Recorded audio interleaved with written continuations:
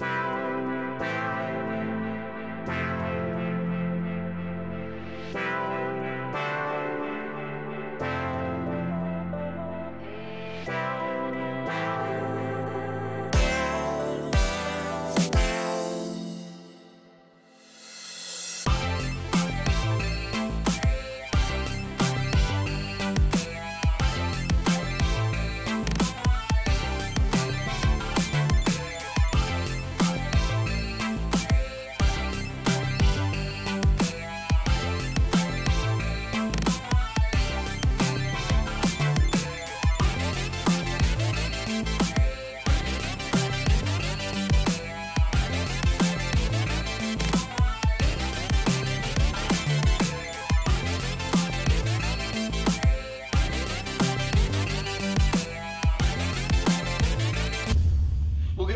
Michigan Christian Center. I'm so glad you could join us for our online service. I've got a great and encouraging word for you today. But before we get to that, we've got an online meet and greet. Reach out to as many people as you can. Invite them to our online services. All right, I'll see you on the other side of the meet and greet.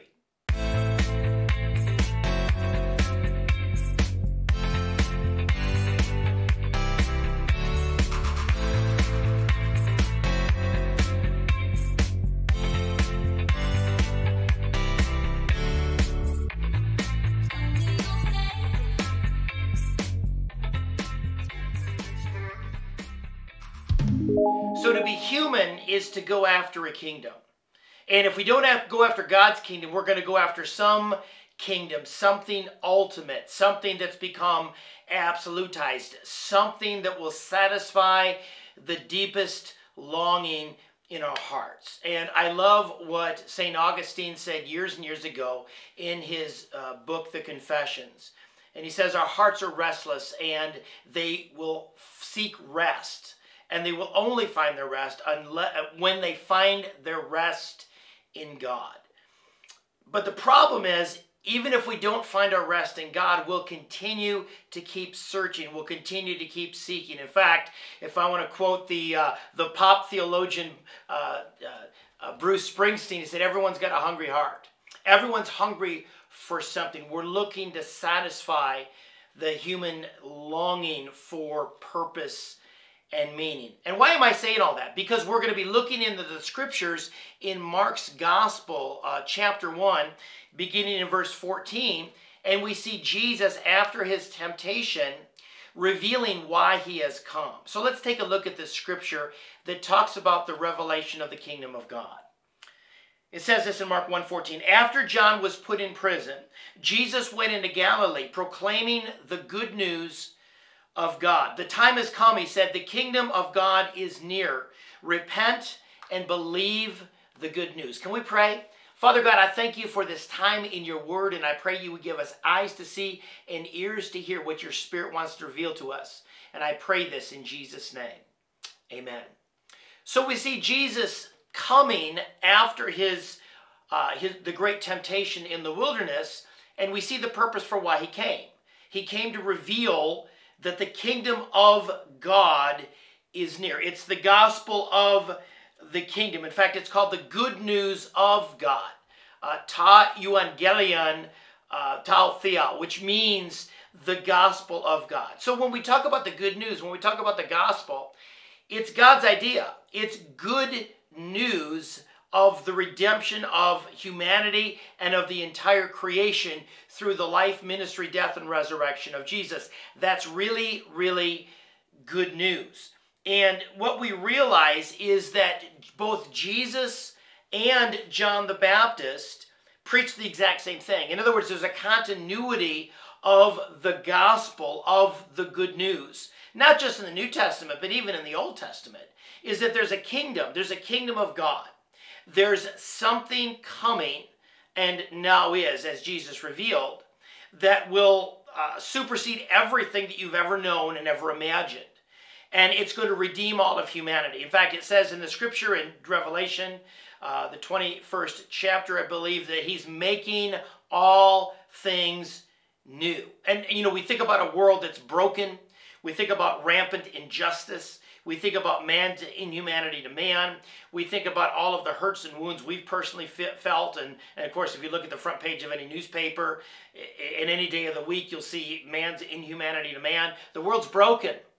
And yet, the scripture reveals to us that the kingdom of God that's coming is coming to set everything right, uh, to make everything sad untrue. And that is incredibly, incredibly great news.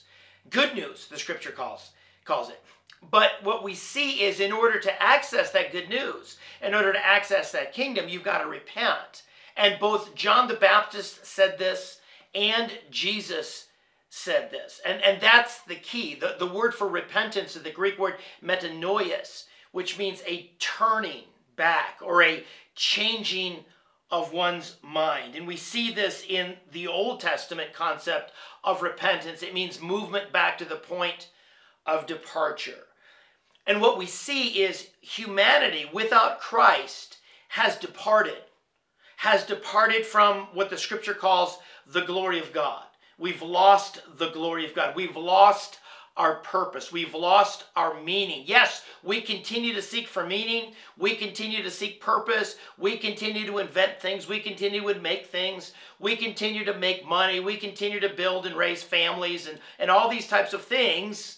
But we're we've departed from our original purpose. And what's our original purpose? Well, we see this in 1 Corinthians 10, verse 31, where the Apostle Paul says, In everything you do, do it all for the glory of God and we see humanity outside God's rule, doing all kinds of things for their own glory, but not for the glory of God. And so, this kingdom that's coming, in which there's going to be a new heavens, there's going to be a new earth, there's going to be no more sadness, no more sickness, no more sorrow, no more pain, no more crying. Who wouldn't want that? Well, there's a lot of people that wouldn't want that because they want their own glory. They want their own way. They want life without God. They are rebellious toward God. The scripture talks about the fact that all have sinned and all have fallen short of God's glory. And so there's a glory, there's a kingdom, there's a restor- restoration of all things. All things are going to be made new. But in order to access this, you've got to return back to the point of departure, this metanoia, this repentance. And the, the departure is a right relationship with God. The departure is being totally open to and surrendered to and submitted to the rule and the reign of God. That's where humanity has departed. So you want to go back to the kingdom? You want to get this kingdom? You want to access this kingdom?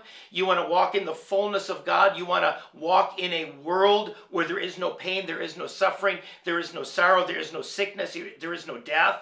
You've got to go back to the point of departure. You've got to do you, you've got to have a change of mind and you've got to come back to God. Both John the Baptist said this and Jesus said this, and it's very, very important. In fact, the Apostle Paul says this in Acts 17 as he's preaching to and speaking to unbelieving Greeks who were representative of the Western world of which we are a part today. And he actually looked at them as he concluded speaking to them. And he said this in Acts chapter 17, verse 30. It said, In the past, God overlooked such ignorance, but now he commands all people everywhere to repent, to return back to that point of departure, to go back to the place where you walked away from God and come back to God. That's the only way you can access this kingdom. And so the good news of God is this kingdom presented to humanity.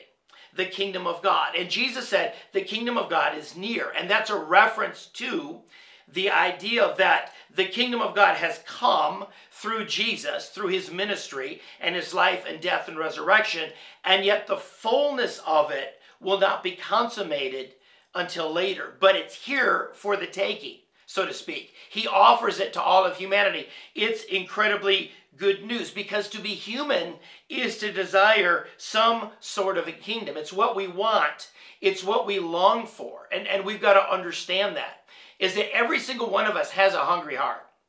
Every single one of us is going to desire something. It might be the kingdom of stuff, right? I shop, therefore I am. It might be the kingdom of pleasure as we're in the month of June, right? The celebration is love is just love. Hey, whatever, right? Whoever you love, just go ahead and pursue it.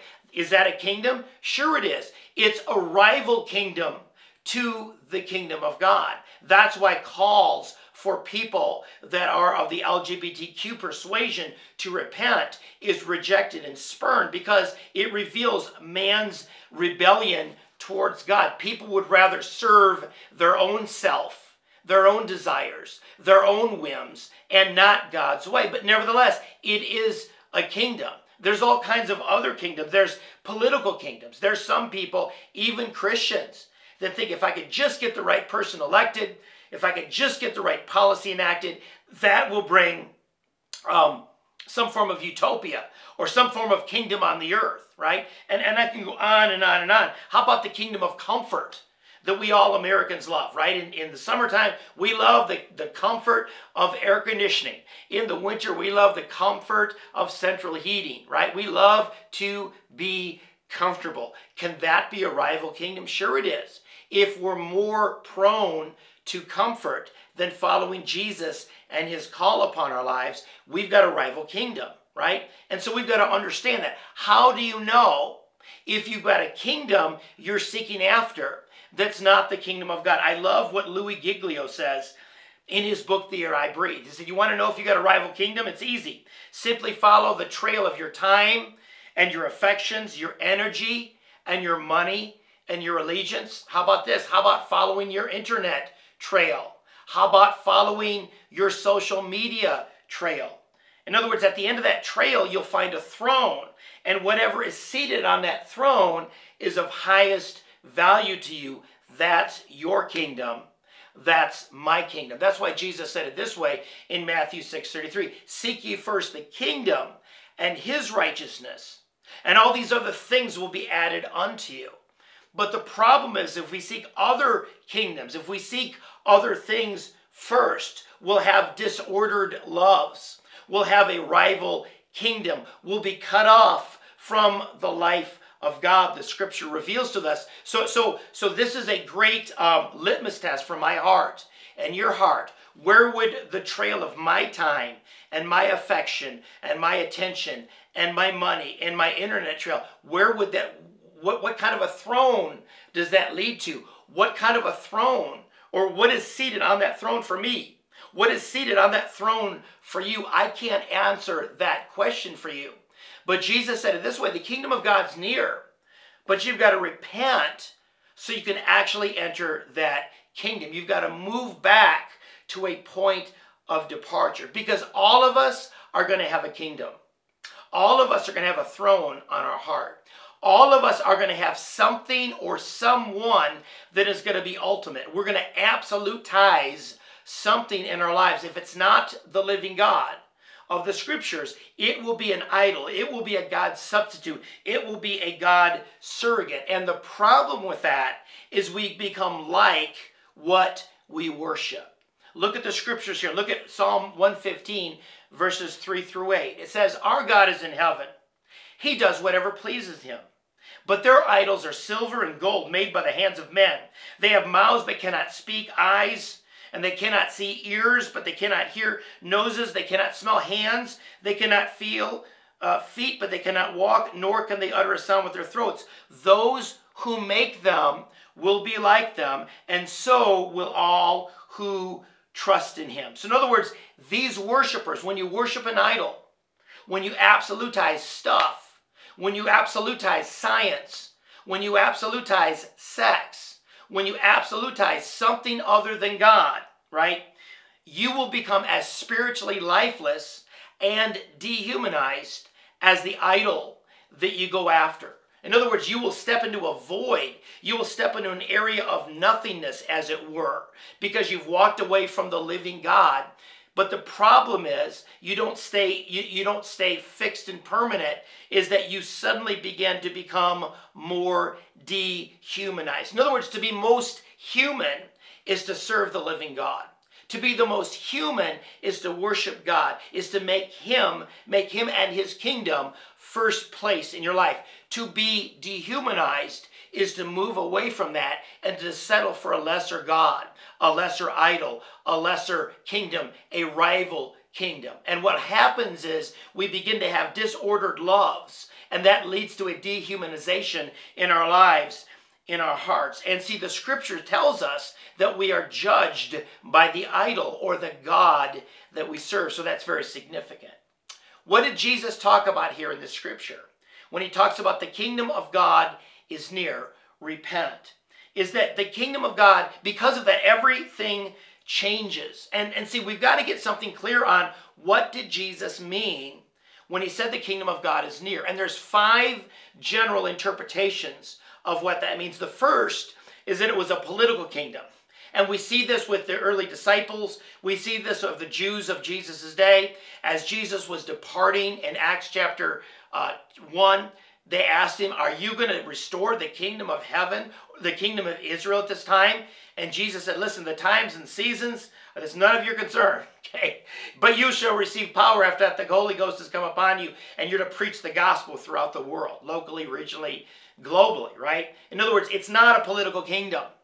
Well, second of all, the interpretation is it's just a spiritual kingdom. It's something that happens in my heart. It's something that happens in your heart. That's one interpretation of it. The other, the third is that it, we've reached the end of history.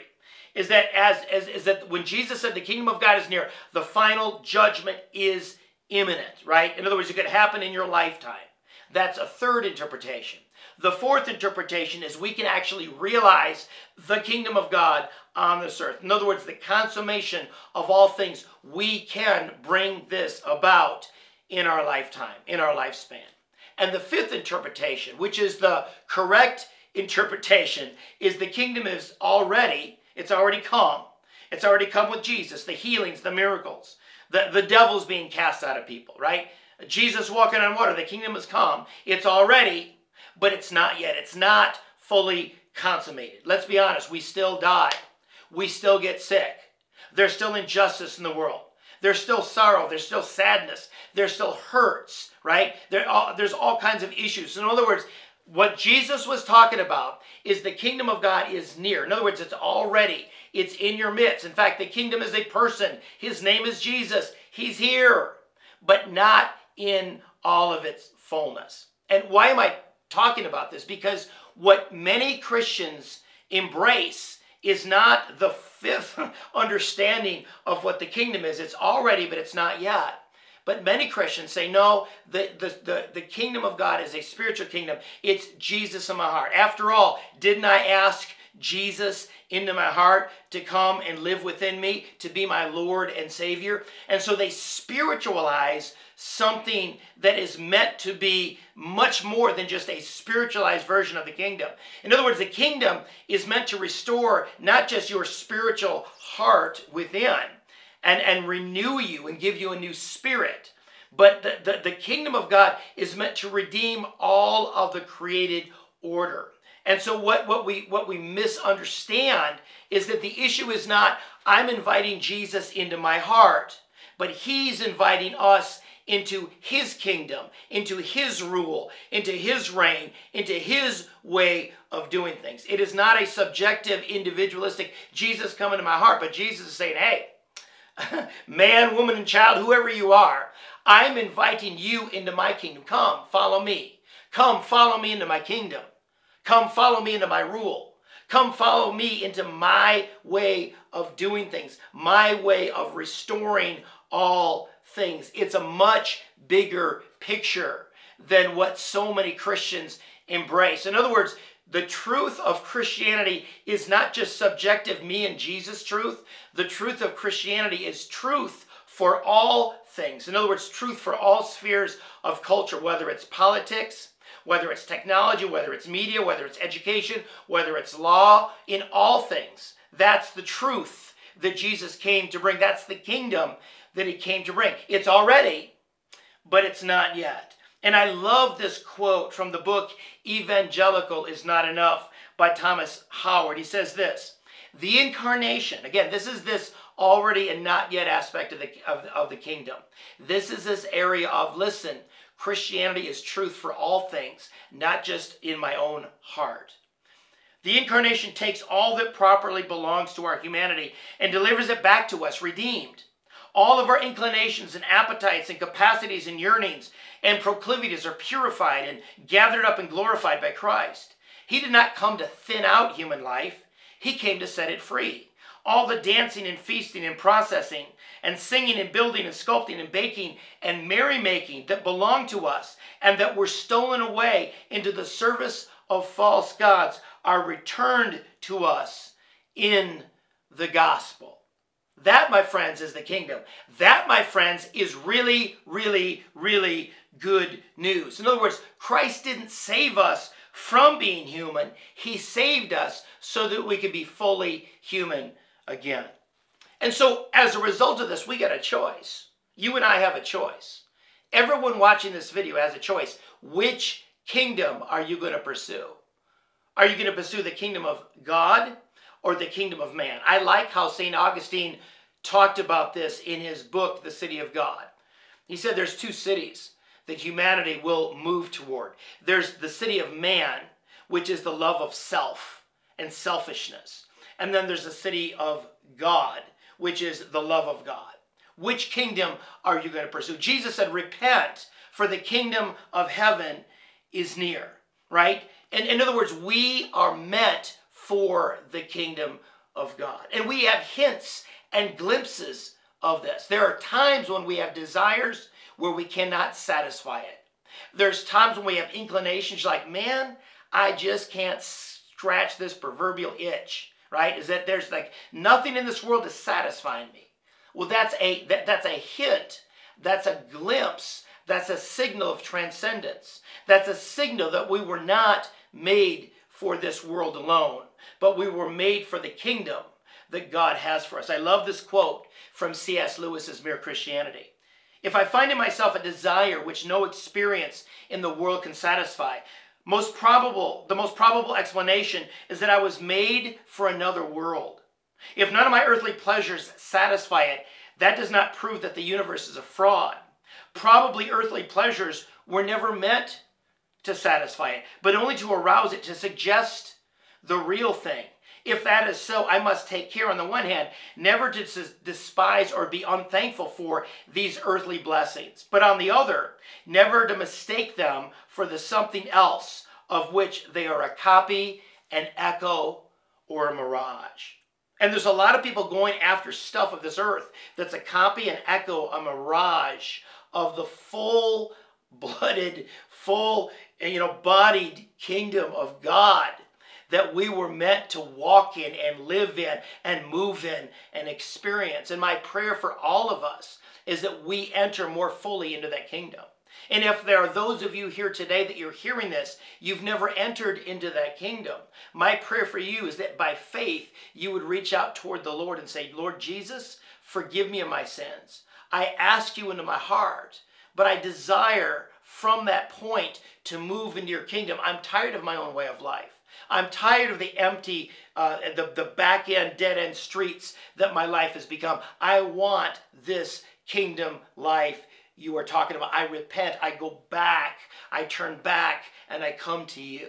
And my prayer is if you do that, you will receive the Lord Jesus Christ and you will enter his kingdom and you will walk in this fullness of life that he's talked about. Jesus said it this way I am come that you might have life and have it more abundantly. Father God, I thank you for this word this morning.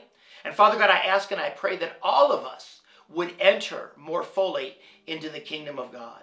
All of us would reach out toward God and say, God, I want more of this life. I want to walk in this life more. I want to be a light. I want to be a witness for you where I work, where I live, in my family, and whatever I do. And God, help me to walk into your kingdom more fully. I pray this now in Jesus' name. Amen. It was great to be with you, and until next week, I call you blessed. Take care.